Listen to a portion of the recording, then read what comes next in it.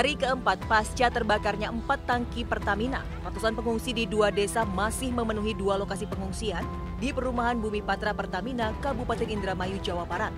Warga mulai mengeluhkan kondisi tempat pengungsian yang semakin penuh akibat jumlah pengungsi yang terus bertambah. Mereka tak lagi merasakan nyaman hingga kesulitan tidur karena situasi yang kurang kondusif.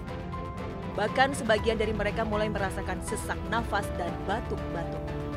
Tim kesehatan pun disiagakan di lokasi pengungsian untuk rutin melakukan pemeriksaan kesehatan para pengungsi yang mayoritas terdiri dari ibu-ibu dan anak-anak. Sesak, napas, batuk, terus panik ya pastinya. Kenapa sih sesak napasnya?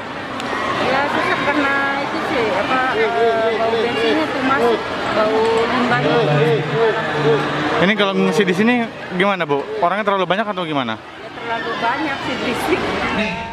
Sementara menurut tim medis, sesak nafas yang dialami para pengungsi merupakan dampak dari kebakaran dan ledakan tangki hingga menyebabkan trauma psikis. batuk, pilek, sesak nafas ada, tapi kalau menurut saya itu lebih meng- mengarah ke arah dari psikisnya aja. Eh, untuk yang lainnya sih paling hanya gatal-gatal sama susah tidurnya aja, mungkin karena adaptasi.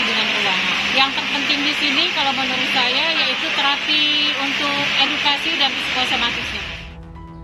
Meski api sudah padam, warga masih enggan kembali ke rumah mereka. Warga pun masih trauma atas terjadinya ledakan dan kebakaran hebat 4 kilang Pertamina Balongan Indramayu tersebut.